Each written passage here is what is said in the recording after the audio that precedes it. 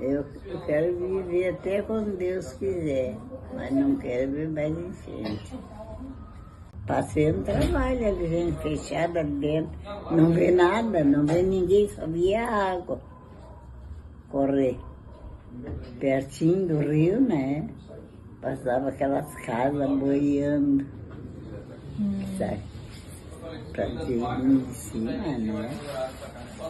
E é só a gente só olhava, só via a água correndo, não via mais nada. Chegava nada, nada, mata, mata, arvoredo que tinha, tapou tudo. E as casas lá eram feitas assim, ó. Os pilares delas eram mais altos que isso aqui.